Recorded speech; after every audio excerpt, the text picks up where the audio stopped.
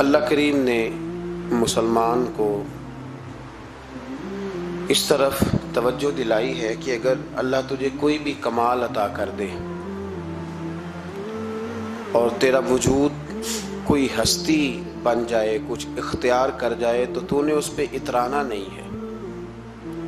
अपनी हस्ती पे न इतराए कोई कोहे गुरूर। कोई तकबर नहीं करना। तकबर अल्लाह तबारक का वाली की चादर है। रब करीम से बड़ा कोई नहीं। लिहाजा अल्लाह आजी नहीं फरमाता वो मुतकबर है। अल्लाह अकबर। अल्लाह सबसे बड़ा, अल्लाह बहुत बड़ा है। सबसे बड़ा अल्लाह अब कोई और बड़ा बनने की कोशिश न करे, आजी में रहे। अगर अल्लाह इल्म के तौर पर किसी को कोई हस्ती बना दे तो वो ये समझे कि ये मेरे अल्लाह का तोहफ़ा है, अतिया है। आजी में रहे इनकसारी में रहे। अगर उसे अमल की तोफीक मिल जाए, रब करीम उसे नमाज़ का मौका अता फरमा दे। अल्लाह उसे सोमो सलाद का पाबंद कर दे। उसकी दुआएँ मकबूल होने लगे। अब वो अपने आप को वली कामल ना समझे, बल्कि वो कहे कि मैं तो रब का आजिज़ बंदा हूँ। अगर अल्लाह ताला किसी को दौलत दे दे और बेशुमार अता फरमा दे, अल्लाह जिसे देता है बगैर हिसाब ही अता फरमाता है। अब वो बंदा उस पर ठहर ना जाए कि देखो ना जी मेरे मैं बड़ा समझदार था, तब मुझे मिली है। ना। कुछ लोग हसब नसब पे इतराते फिरते हैं। कहते मैं चौधरीों के ख़ानदान में हूँ। मेरा सवाल यह है कि तू पैसे जमा करा के चौधरीों के घर पैदा हुआ है? क्यों उलझा हुआ है तो इस चक्कर में? हसब नसब पे फख्र है, इल्म पे, अमल पे, दौलत पे ओहदे पर, इकतदार पर। अल्लाह को ये बात पसंद नहीं। फरमाया, कुल्लु मन अलई फ़ान। ज़मीन में जो कुछ है, सारा फना हो जाएगा। देखिए, लफ्ज़ क्या है कुरान पाक के? ये नहीं फरमाया ख़त्म होगा। ये नहीं फरमाया मौत आएगी। ये नहीं फरमाया मिटेगा। कुल्लु मन अलैहा फना ही हो जाएगा। सफ़ा हस्ती से नाम और निशान मिट जाएगा। तुम्हारी बाकियात भी बाकी नहीं रहेंगी। निशान तक मिट गए हैं कब्रों के। ये शहर इतने पुराने नहीं, सदियों पुराने नहीं ये शहर। कि हज़ार साल हो गया या दो हज़ार साल हो गया, यहाँ भी किसी कब्र को खोदते हो तो हड्डियाँ निकल आती। इतने पुराने कब्रस्तान नहीं फिर भी खोदो तो नीचे से हड्डियाँ रब फरमाते कुल्लु मन अलैहा जो कुछ ज़मीन में है सारा तो या अल्लाह बचेगा क्या? फरमाया वजब का वजह रबिक बचेगी तेरे रब की ज़ात। जुल जलाल वली कराम जो बड़ी अजमत वाला है और बड़ी बुजुर्गी वाला है। कुछ औलिया अल्लाह बच क्यों जाते हैं इसलिए कि फ़र्ज़ करून याजकुरकुम अल्लाह फरमाते हैं तो मुझे याद करो, मैं तुम्हें याद करूँगा। तो जिसे अल्लाह याद करता है, चूँकि अल्लाह बाकी है तो जिसे वो बाकी याद करता है, वो भी बाकी रह जाता है। फना है ज़िंदगी में। कुछ लोग अपने इल्म पर बड़ा, मैं देखता हूँ, बेचारा एक आदमी देहात का रहने वाला था बीए कर गया। अब वो कहता है, हमारे, आपको पता है ना, हमारे इलाके के सारे लोग अनपढ़ हैं। तो मैं कहता हूँ, तू तो सबसे बड़ा अनपढ़ है जो लोगों को जाहिल समझता है। तू सबसे बड़ा बेवकूफ़ है। नबी करीम सलाम ने फरमाया, मन काला अना आलिमुन फाहुआ जाहिल। जिसने कहा, मैं आलिम हूँ, वही तो जाहिल है। जिसने कहा, मैं आलिम। दो मिनट लगते हैं। इल्म शिल्म सारा वो जा पड़ता है। इल्म पढ़े दा मान ना करिए। मत आखी मैं पढ़िया, ओ जब्बार कहार कहावे।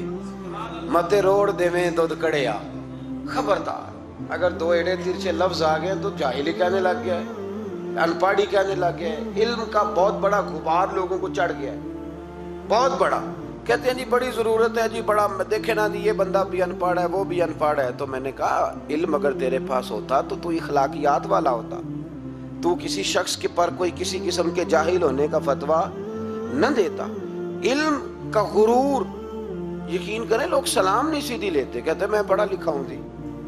मैं पढ़ा लिखा हूँ। एक साहब एक दफ़ा मदरसे में आ गए तो कहने लगे कि फलां लामा साहब की तालीम कितनी है? मैंने कहा, आपकी कितनी है? कहने लगे, मैंने एम ए बी एड किया हुआ है। तो मैंने कहा, हमारे चौथे साल के दरस इंजामी के बच्चे के पास आप बैठे। पूरा नहीं, तीसरे चौथे साल का।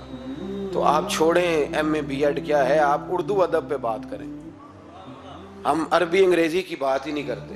अजीब बात है यार, पता ही नहीं इल्म किस चीज़ का नाम है। फ़काहत किसको कहते हैं? डरें। अगर अल्लाह तबारक व ताली इल्म देता है तो कई दफ़ा हाफजे, बड़े बड़े बड़े बड़े लोग होते हैं, लेकिन उनका हाल ये होता है कि अपना नाम तक भूल जाते हैं। अपना नाम अपना नाम नहीं याद आता। बुढ़ापे में लोग पूछते हैं, नाम क्या है? तो कहते पता नहीं क्या नाम है। रस्ते भूले हुए हैं लोग। भूले हुए रस्ते। बड़ा, बहुत बड़ा साइंसदान और बहुत बड़ा उलूम फ़नून का माहिर आदमी। लेकिन माज अल्लाह सुम्मा माज अल्लाह अल्लाह हमें माफ़ फरमाए, पागल होके मरते हैं लोग। मफकूदुल खबर हो जाते हैं, हाफजे तबाह हो जाते हैं। कुल्लु मन अलैहा ना ना ना, कोई अपने इल्म पर किसी किस्म का कोई भरोसा। इमाम गजाली कहते बनी इसराइल का एक बड़ा नेक आदमी था। जिस तरह पाँच नमाजें पढ़ने वाला सबसे नेक नहीं हो जाता तो बाकी सारे ही गुनागार नज़र आते हैं। सारा दिन बहस ही करता रहता है, ये भी नहीं पढ़ता नमाज़, ये भी नहीं पढ़ता, वो भी नहीं पढ़ता। तो मैं मैं कहता हूँ, तू अल्लाह से डर अगर अल्लाह ने तोफीक दे दी है। तबलीग करना तेरी ज़िम्मेदारी है, तनकीद करना तेरी ज़िम्मेदारी नहीं है। तू डर अल्लाह ताला से। अगर दो एड़े तिरछे लफ्ज मस्जिद में जाके तू अल्लाह अल्लाह के कर लेते है तो अब तू तनकीद ना कर। फलां भी नहीं आता, फलाना भी नहीं आता, ये तेरी ज़िम्मेदारी। तू तबलीग कर, जाके उसे कह, जो मैं बात अर्ज़ कर रहा हूँ, उस पर गौर करें। यहाँ बैठ के बहस करने की इजाज़त नहीं कि फलाना भी बेनमाजी है, फलाना भी बेनमाजी है। हुक्म यह है कि उसके घर जा दरवाजे पे दस्तक देखा भाई आ नमाज़ पढ़ने चले। जो काम करने वाला है, वो करते नहीं, और जो नहीं करने वाला, उस पर बहस हो रही है, फलाना नहीं आता, बड़ी रोटी है, बड़ा पैसा है, मस्जिद नहीं, ये तो है ही नहीं तेरे करने वाला काम। तू जा, जाके पैगाम दे। बनी इसराइल का एक शख्स था तो बड़ा इबादत गुजार था। बड़ा नेक था, बड़ा परहेजगार। एक गुनागार बेचारा। उसने देखा कि वो दरवेश साहब, सूफी साहब, नमाजी साहब, हाजी साहब बैठे हुए मैं भी पास जाके बैठता हूँ, शायद मुझ पे भी अल्लाह करम नवाजी कर दे। मैं भी पास जाके, अल्लाह अकबर। मैं कहता हूँ, क्या बात है इस गुनागार की जो अपने आप को गुनागार तो मानता है ना? क्या बात है इसकी? कहने लगा, मैं भी जाके बैठता हूँ, शायद मालिक मुझ पे फजल फरमाए, उस नेक के पास जाके बैठ गया। जब जाके बैठा ना तो नेक कहने लगा, तू किधर आ गया उठ, चल दौड़ जा। तुझे नहीं पता तू कहाँ आ गया? इतना नापाक आदमी सुबह शाम गुनाह करता, मेरे पास आ गया